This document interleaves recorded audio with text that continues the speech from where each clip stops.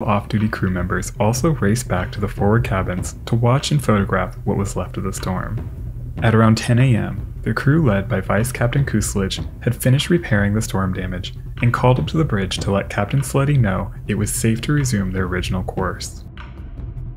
Just as she was completing the maneuver, the Michelangelo unexpectedly dropped into an unusually deep trough, almost immediately followed by a massive wall of water that slammed into the liner's prow and forward superstructure, plunging the ship into momentary chaos.